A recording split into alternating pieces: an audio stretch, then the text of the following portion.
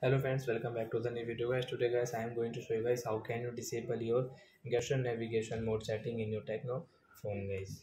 Guys you want to disable guys your gesture navigation so guys you can disable it. So how can you disable guys? In this video guys i am going to show you friends. So first of all guys we will on our phone setting to disable it. Then guys scroll it.